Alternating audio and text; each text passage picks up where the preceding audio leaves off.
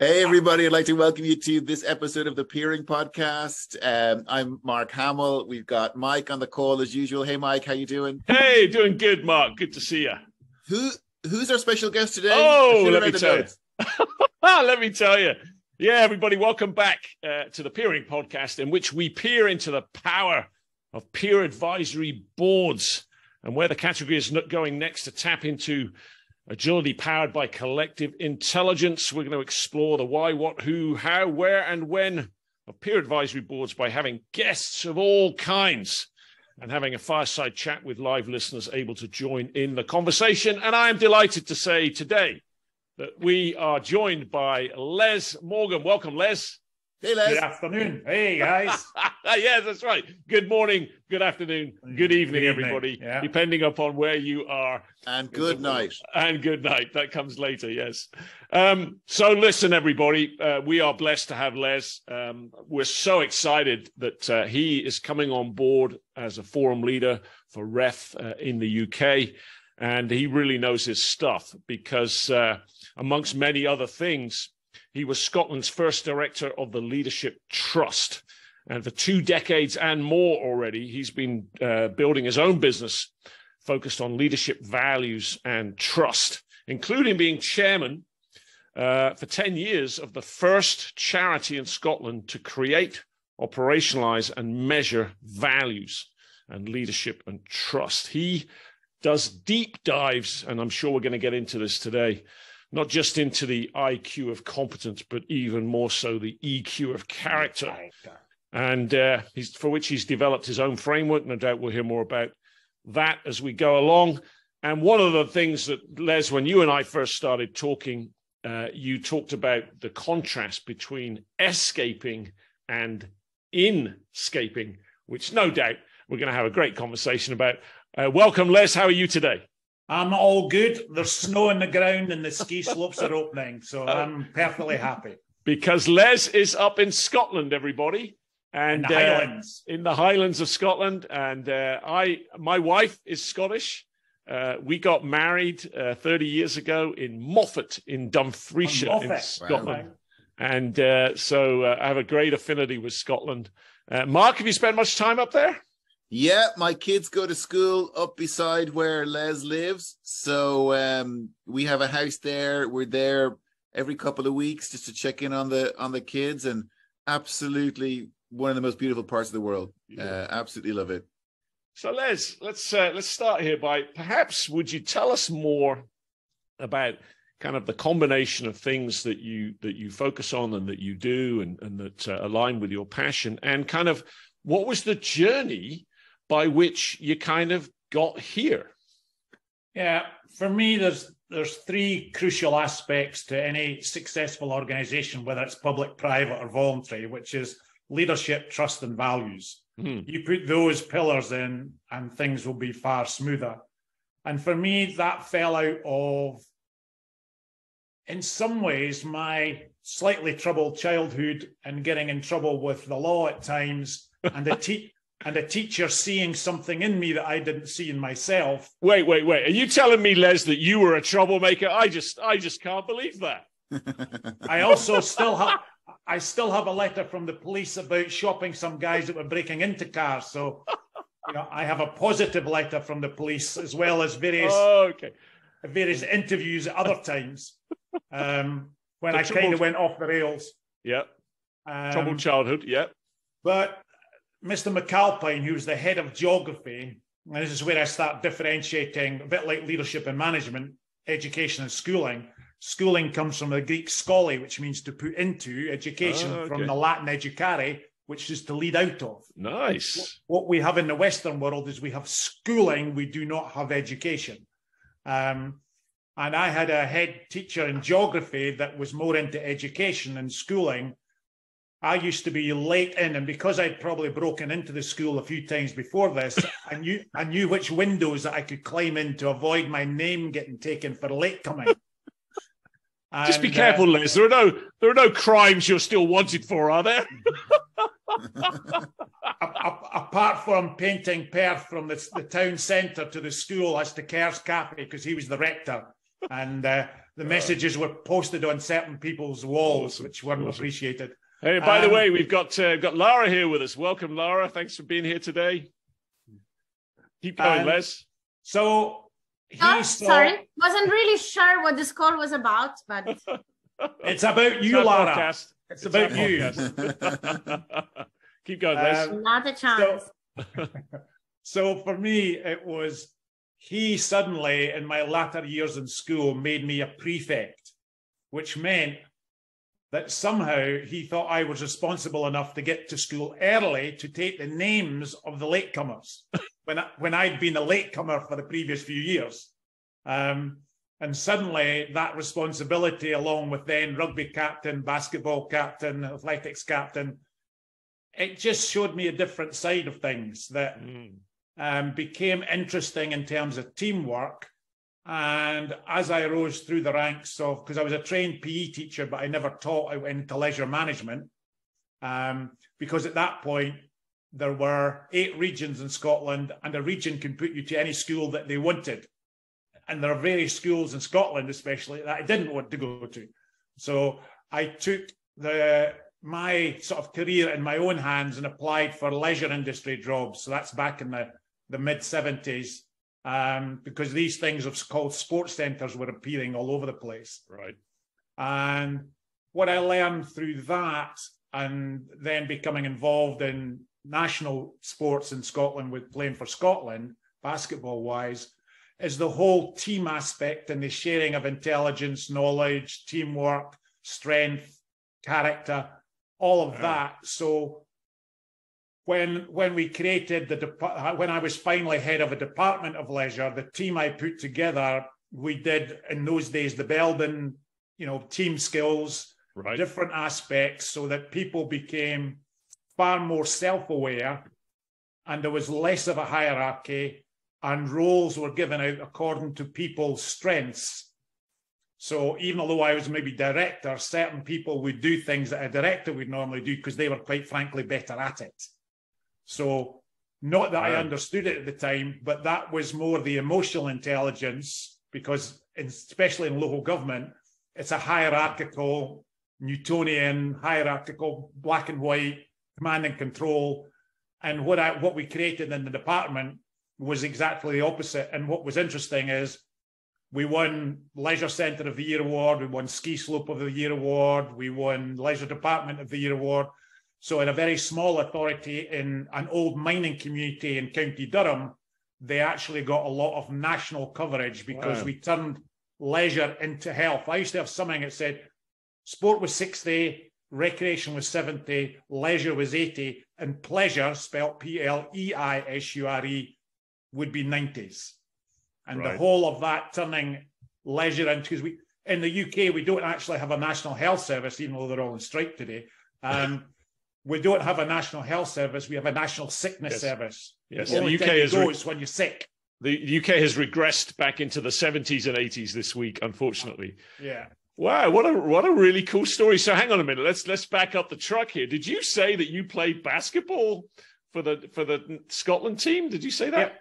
Yep. Does that mean you're very tall, Les? I've never seen you stand Les up. is very tall. Les is very tall. Well, I was the the small guy that played pivot, so I'm I'm six foot three. My coach has always said, Les, you play six foot six. But you know what? I, I was, really. I was playing against the likes of Fred Petty at the time, who's oh, seven oh, foot wow. two and played for England. Wow. But you know what I really love about that? And you and I haven't really spoken about this so much so far, but in all of my work around agility and trying to help people understand what agility is and what it isn't, and how to apply it in business. Of course, I talk about sport a lot, and I talk about games in particular that have one team on the on the on the court or on the field at any one time, as opposed to two specialist teams, offense, defense, like in mm. American football. Obviously, American football is still a good analogy analogy, but but soccer, basketball, ice hockey, you know, a, a, game that really ebbs and flows from defense to offense is a fantastic analogy of agility, and I think therefore your work around the difference between IQ and EQ and trust and leadership and values. What a great real world experience to be able to draw on, Les. That's phenomenal. And I think the key thing with basketball is that everybody basically, more so than soccer or football, everybody in basketball is a scorer. So Right. ev- everybody can score. So unlike netball, which for me is a game of don'ts, you know, don't cross the line, don't bounce the ball, Yeah. don't. Yeah. Um, basketball, it really is a team and anybody can score. And especially if I'm the big guy getting the ball out of the hoop, if somebody's just scored, if I have a setup with a with a guard, he's already halfway up the court Right, for the right, right. swift, swift pass for the score before they've even got into defense. Yeah. Mark, did you ever play basketball? Are you tall? I don't I've never seen you stand up, Mark. Are you tall enough to play basketball? I'm I'm taller than Les slightly. Um, so I'm six four. Myself and, Oh. and Les have met up a couple of times. I think we were always being the tallest in the room. Oh. Um, no, rugby was my sport. So again, Oh, another okay. team sport. Um, absolutely, you know, have rugby Oh. boots. Will travel Oh. travel the All right. world, play right. Games. Um, Well, I'm also six foot four. So we're can set up our own anyway, let's get back. team. Let's get let's get back on track here. Let's get back on track. So keep going. you're not Les. six so, foot above six foot, you're out of this organization. So Les, let's, let's get let's get back on track, Les. So c- continue telling us, Les. How did you then? It's it's becoming clear, but finish off. How did you arrive at your focus that you have today, and what is that focus? Tell us more about that. Yeah. So when I, when we were creating that leisure department, I applied to go on. There was a, a, a local government training board at that time. It was run by the government for prospective directors and chief execs in local government. Um, and I went on the sort of directors one, and and the organisation, that- which was an UK wide organisation, asked me to come on the chief execs one. And what blew my mind at the time was I was the guy that ended up on doing all the errands on the bike and, and abseiling off a bridge at 60 feet um, to make things happen and get us to the goal. And and I had always seen chief execs as people that were certainly better than me in, in many respects, because from a very working class background in the housing estate with the gangs back in the 60s in Perth. Um, and suddenly I thought, hang on a minute, it, it's actually about how you conduct yourself and Mm. how you connect. And actually, it's forming the relationships actually before the results. It's the relationships that get the results, Right, not the results that get the relationships. Right. Um, right. And so that opened my mind. And then I became the second youngest UK chief executive, local government chief executive. And chief execs are normally from financial or legal backgrounds because they're there to protect the council. For me, from my back, I'm there to protect the public. That's what a public servant does. Um, so there were very few chief execs that weren't, dare I say, IQ orientated. And that enabled me to do various things in a different way and link up here where Baxter's and Walker's, you'll see Walker's shortbread and everywhere, and people, most people know Baxter's foods. But getting those type of companies together, along with the public sector, along with the charitable sector, to create a community, because hmm. normally they're all in their own silos, and the chief executive, who I cannot get any more money by making anything happening because I'm on a flat rate.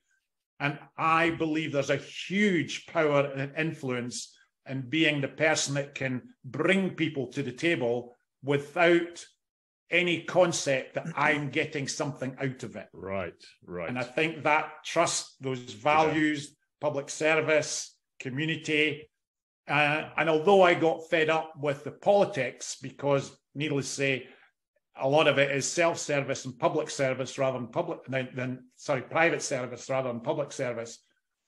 Uh, I gave that up after four years, and in the Highlands of Scotland, the five Fs: forestry, farming, fishing, fabrication, which is the oil industry, and fermentation, which is the whiskey. Employment-wise, we're all doing that right. Because everything's being, you know, run a distillery with two people pressing buttons. Um, so for me, I then set up the Highlands first call center because you can do it anywhere in the world, as we know. Um, and the Highlands at that time, I'm talking the mid 90s, had the new ISDN networks just put in. And the contracts we got through Capgemini were actually all the parking fines for London. So we're answering the phones in the Highlands, you know, good morning, good afternoon, parking fines department, London Borough of Ealing. Um, and then people would say, well, you know that place in the high street next to Woolworths? Did you Um, end up? Did you end up calling Mark's cell phone a lot? His was an automatic straight through. Um, Do not so answer many. calls from Les. So that, Oh. that also showed me we set that up on a set of values because nobody wants to pay a parking fine. So that was actually quite pressurized Wow. work for the That's people on the nice. phones. Yeah. Um, so we set up based on that values, and I learned more. And BBC Two Money program, as it was at that time, came up to film because of this new concept, back office Wow. working. Um, and then I joined the Leadership Trust um, because they were expanding. And what was interesting about the trust was back in the sort of 60s, 70s, 80s, there were management programs on, but this was a leadership program set up for leadership, probably one of the first in Europe, leadership focused. And it was set up by an ex SAS guy and his wife, who was a psychologist. And it was a five day program. Companies came from all over the world. uh, and it was just stunning. It was the whole Wow. experiential aspect. Wow. Um, stunning stuff. And, and to be honest, most of the conversations at midnight and onwards were about how these men in an IQ world had got to the top, had thought they were helping their families because they were getting better money, better homes, better cars, better holidays, but they'd actually lost the connection with their children. Wow, goodness me. How profound is all of this? And boy, you've touched upon another of my favorite things in my agility work is, is special forces, right? How cool is it? How cool is it to sit around a, a campfire kind of thing like you're describing and hear stories and examples and insights and, and mantras and phrases from people that have, again, done it in the real world, like special forces, SAS, etc. So, oh my gosh, Mark, any we- any uh, any particular thoughts or questions or comments from you so far? No, I mean it's just look. I know I've got to know Les a lot over the last like three years, and the whole focus that he brings. He just touched on it there at the end. The whole focus on EQ, vulnerability, connectivity. Yeah, We've worked with Les in YPO, in VAB, and you know, singularly, he's best in class globally in that area, and is so pioneering. Um, I was just kind of curious on Les's first steps into the whole peer-to-peer world. Um, maybe if you could share a little bit on that. yeah, great question. Yeah, Yeah, what, what happened is what was interesting for me is when I set out on my own about 20 years ago after the Leadership Trust, what was interesting then for me is that we we always did a pre-course interview to sort of prepare people for what they were going to experience. The post interview was less focused on, and for me, that was where I spent my time because many people left jobs, left relationships, left families as they found themselves. So we're back to the whole thing of who is the authentic you, which which all Gabor Mate's work now really is focused on in terms of 95% of all ill health is predominantly due to where you know the old nature nurture thing. It's now 95% nurture and about 5% nature because everything in us is activated by our location and our environment. And and I suppose for me, I spent more time debriefing people out the leadership trust than selling more courses. So I was getting more pressure again in the IQA. Finally, they've been on the course, they paid the money. We need more people now. And I'm going, sorry, but my values are we have to help this person re-enter the world from a different perspective. And and after that, when I went out on my own, the peer group side of things emerged because three out of the first four companies I worked with were run by YPOs. Um, and I kind of was very interested in why that was the case because I was going and say, well, they would say, what are you going to do? And I would go, I don't know, because I need to speak to your people. Well, how long is it going to take? I don't know. So what are you going to do? I, I don't know. Um, and so they trusted me as a person because I really didn't have a process. I, Yeah, you know, I, right. I never ever fill in uh, what you call it when you, oh, when you put something out and you have to apply through that An process, applic- right, an Contra- application form. Yeah, like a contract. Yeah, yeah, tender. yeah, Um, I've never done one in my life because it just doesn't fit. Right, right. It's about the relationship and then it's about the peer group because what I Ah. then found is I put all of those chief executives from the companies we're working with together, bit like YPO, but not that I knew anything about it at the time, in, in a peer group where they would learn from each other and share and develop and deepen yeah. and have a support group for when there was an emergency. Yeah. Wow. So for, for me, the peer group appeared out of that. And that's not dissimilar if you look at even the World Cup at the moment. Croatia got through, no real stunning players as such, but in terms of or Morocco got through as well, based on a team and, and, a, and a team concept of working for each other and learning from each other and covering for each other. Hmm. Which and I do believe I do believe that Les just opened the door to talk about the World Cup, Mark. Unless that he wasn't going to talk about it, yeah. no, we won't yeah. go there. We won't yeah. go there. It's like France. No, no, but a quick, a quick one on that. Literally, I was just listening to um, a different podcast on Croatia's success, and as the the whole ethos is built on a a lot of these players know each other from they come up through two main teams. Um, it's a huge team sport environment, water polo, basketball, um, it's all like team sport, like ethos based. So the they're not just like thrown together. These people know each other for years, and they've all kind of growing up in that team sport environment. So it's just super interesting. That and it is eh, exactly, and it is it is that that idea that you know on paper, to some degree, teams look similar, don't they? Right? It's Argentina, France in the final.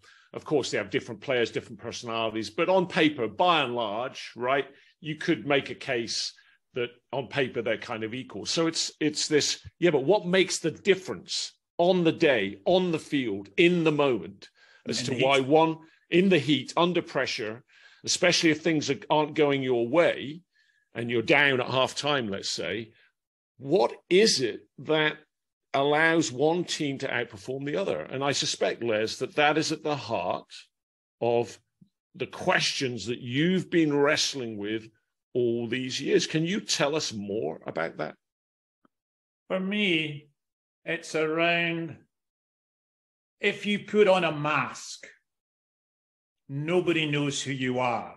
So this back to Covey's habit five: seek first to understand and then be understood if, as, as Gabor Mate would say, if you put on a mask and you're asking people to help you, in what way can they help you? They can't help you in the way that you need help because they don't know who you are. So, in, in, in the heat of battle, especially in the sports field, you will, through training, let alone anything else, start to learn about people's nuances, their peculiarities, the way they need supported. And you'll hear a lot about, you know, when you go back to, dare I say, Sir Alex Ferguson, and the way that he would deal with players and get them in the way that he needed to get them. In Aberdeen, going back before he was in Man U up here in Aberdeen, the way he would put a team together and bond them. It's that it's the relationship again. It's uh, the, the forums as such and peer groups until somebody starts to deepen it or a facilitator takes you deeper, they yeah. will never get out what they ultimately yeah. need and want. Yeah, which is and a which is go ahead. Sorry. And, and and all of that in the work that I do with for for YPO, inevitably the retreat will be about going deeper. They want to go right. deeper. Right. Um, and and um, obviously that is a great segue in a moment into you know uh, peer forums and what what you're going to be doing with us in the UK. And but but for our American listeners, of course, Sir Alex Ferguson uh, used to be the coach, the manager of Manchester United many years ago. He left what, like ten years ago, almost. I oh, think yeah. probably more, but twelve. Yeah, yeah. But, uh, but, the Americans will know Beckham because he's over there now with the the, yeah. the, the, the, soccer team. Exactly, and um, Miami. Of course, uh, uh, uh, Man United used to win everything, and now they don't and they haven't done for a long, long, long, long time. And whether you Since watch when you watch the English Premier League or not, you've heard about that story and Cristiano Ronaldo and all of that kind of stuff, just for our American listeners. So, anyway, um, uh, this is obviously more of a UK-oriented uh, episode, everybody, because we are but very the Americans. The Americans own Man United, the same. That's right, they do. That's correct. You do, everybody. Congratulations, you own Manchester United, or commiserations, perhaps, for the last ten years. No doubt, uh, you will bounce back. Um, So uh, this is more of a UK oriented um, uh, episode, everybody, because we're very busy right now um, entering uh, the UK with forums, and, and Les is forming a forum that we'll talk about more in a moment. But Les, before we go there, could you tell us just a little bit more about this concept of inscaping rather than escaping? Yeah, for for me, in general, if you're in pain or you've been uh, trauma as a kid or whatever it is, most people will escape to drink, drugs, sex, porn, work, exercise, whatever it is, and and we get that high that just covers over our pain, but the pain never never really goes. And inscaping is really about the journey inwards.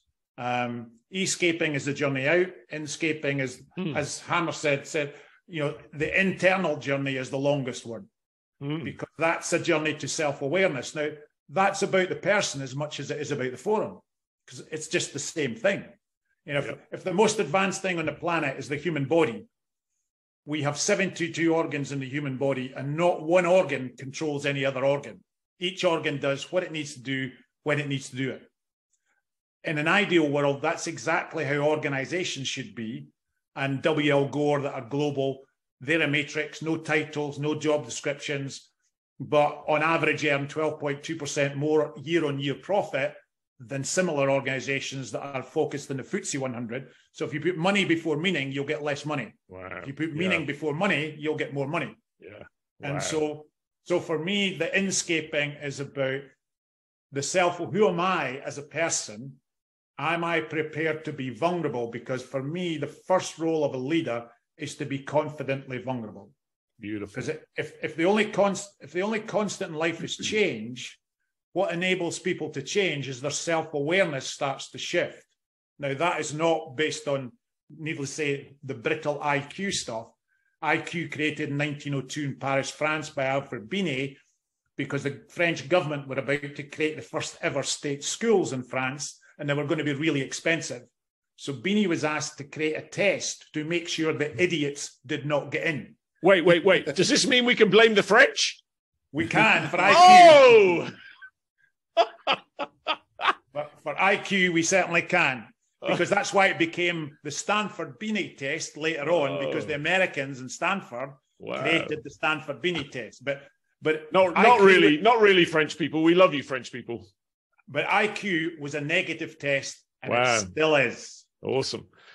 Wow, Mark, uh, this is why we are so grateful that you introduced us, introduced, introduced us to Les every time I interact with Les and have a conversation, uh, I it just takes me deeper and deeper and deeper. And I know, as you've said, Les, the inner journey. I mean, there's the outer journey, the outer universe of systems and structures and strategies and all that stuff. But there's this inner journey of beliefs and hopes and dreams and it's the human journey. intelligences yep. and it's the human part. It's the heroic part right? It's the it's the it's the actualization the self-identity and oftentimes Maslow, that's, yeah. that's the where top, the top end is the self-actualization to be all you can be.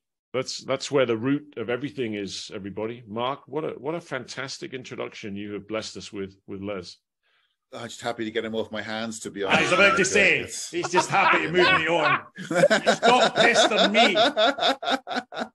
So, Les, um, so we're delighted that you are engaging with us in the UK, uh, amongst others, uh, to help build out our footprint of forums. Uh, you are doing a virtual key group that uh, will be nationwide uh, of key executives, uh, leaders, managers. Uh, I'm sure leaders more than managers, as you've begun to articulate.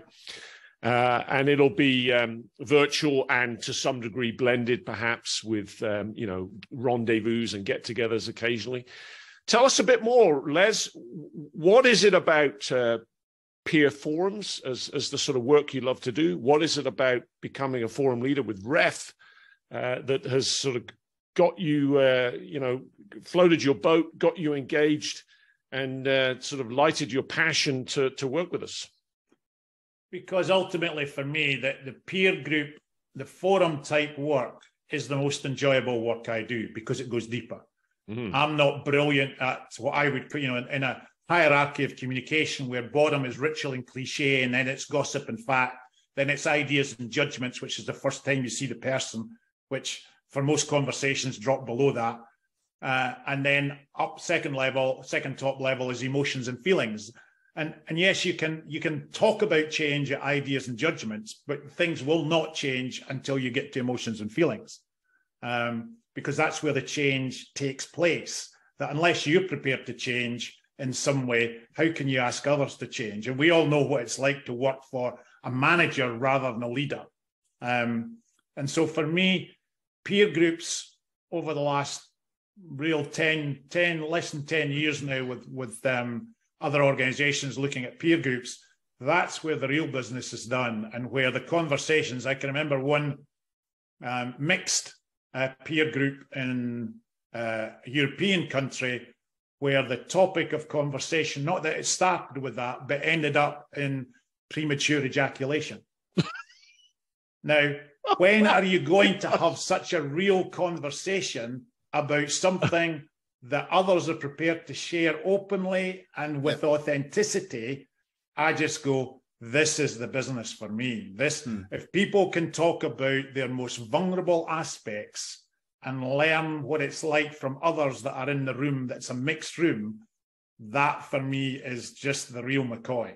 Yeah. Um, and actually, just I had a, I just had a call this morning with a prospect and um, just talking through the whole you know forum experience. And um it just it, it was exciting kind of reliving a little bit you know my you know when i joined a forum for the first time I had no idea what to expect absolutely no idea. And just as you said having seen a few different forums over the years the the moderation the moderator we had the facilitator for the first one was just incredible. And it he just enabled this new like group to achieve like a depth uh, a trust and a level of vulnerability in in an incredible speed. Um, and we were only meeting once a quarter. Yeah so hmm, there was right. a, a more staggered rhythm. We were having um yeah. virtual and in person. And um it was just incredible. So just reliving that conversation, part of those experiences today, and just came back to uh, yeah. that that uh, moderator facilitator just yeah. was so important to just bring that trust and that cohesiveness together, so you can get vulnerable um with total confidence yeah and what i what i love about what i love about the, the last couple of minutes uh, listeners is kind of the shock factor of of where the conversation just went as a fantastic example of really what Les is saying is when you have created the conditions in a peer forum of trust, caring, transparency, safety, there is truly nothing off limits that you can't talk about in a peer forum. Now, obviously, we talk a lot about a lot of business stuff, a lot of basic stuff, a lot of a lot of leadership and culture and teamwork and strategy and structure and all of that kind of stuff. We do talk about in a peer group. We do talk about the external journey, of course, and we talk about that inner journey uh, at great length. And people will progressively self-disclose the most personal things like you've never heard before. And, and as Les and Mark know, I, I facilitated four peer group forums for 15 years with 40, 50, 60 members at any one time, 200, 300 over those years, every month. And it's almost like, Les, by and large, there ain't any issues left that I haven't heard, processed, disclosed, um, explored in a peer forum of equally shocking, uh, with equal shock factor as to the example that Les just used. And so, everybody, this is the power of being able, when you come to a peer forum, to hang it all at the door. Hang the armor, the thick skin, the ego at the door. Come on in, be fully you. And, and, and, and that full you is the key because I talk about in terms of the four quotients physical, intellectual, emotional, and spiritual. Yeah, yeah. To live, to learn, to love, to leave a legacy, human living, human doing, human being, and being human. In a peer group, you can be human. You can, it's the most, it should be, if it works correctly, it's the most safe place for you to show yourself 100%. Unlike probably everybody, listeners, probably unlike anything you have remotely experienced before. We often get asked, right? Is a peer forum, is that like a networking thing? Is it like a is it like a training thing? Is it like a coaching thing? Is it like a consulting thing? What is it? No, I mean there are elements of those things to it, but no, it is a much, much, much deeper thing than that. That does that does deal with basic business things. Should I buy? Should I sell? Sell? Should I should I stay? Should I go? Should I should I you know double down or unplug? All of those basic things. But as as Les is articulating, and I know Mark, you'll comment more. You can't just talk about parts of the problem.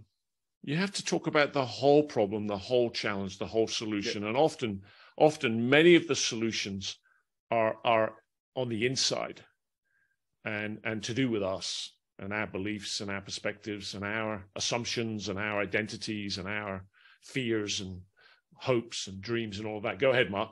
I was going to say, look, we we obviously people find it easier in the beginning to talk about business, you know, in your updates, but the depth and the growth as a forum comes from, you know, the personal and the family, primarily the personal, just that exposure and being comfortable yeah. I would have said in in in my foreign experience, we probably had in presentations, probably only like a quarter end up being business related, and they're right. the ones that are the easiest to get through. Yeah, yeah, because you you can share experience, you can talk about you know like that example, we're buying a business or we're selling or we're exiting, uh, we're going into new markets. They're quite like tactical things. Um, whereas the personal stuff and the family stuff is just there's layers and layers of complexity yeah. to explore. Um, and yeah. you know, the the you know, coming out of, you know, almost like going into the the monthly kind of forum is it's something you look forward to you know yeah. because it is that like oh i can't wait for my next forum i i've got so much i need to like yeah. you know share uh and i want to you know it's even being in some forums where I felt like on particular topics, I have no shared experience. I, I, that's never ha- I have no shared experience. But there are generally areas that you can actually find that you know it, it's relevant to to yeah. share. It could be and slightly different, but it's different viewpoint. Yeah. Yeah, I'd like almost I, would almost put it as it's a nourishing place to be. It's yeah, a bit like are. plants. Yeah, plants need a climate and a that's soil to grow best, and you look for that. This peer groups with, with the right set of values are the place to nourish human beings. Yeah. Yeah, I, I, do. I do. I mean, again, I just reiterating that I think so much of it, and look, you both have much more experience than, than me in in in moderation facilitation. That the the standard is set by the moderator, exactly. by the facilitator. Like exactly. that's. I've been blessed is... to have some amazing ones. Neither of them, yeah. either of you, for sure. But uh, that I think you guys take it to a whole new level but it is that that's part that's such a huge part of the voyage. Yeah. Yeah. Yeah. You'd have been a you'd have been a lot of work, Mark. We'd have, we'd have, we'd I still am, make, Mike. What do you mean I had, would have been? I still am. We'd have had to make a special project of you.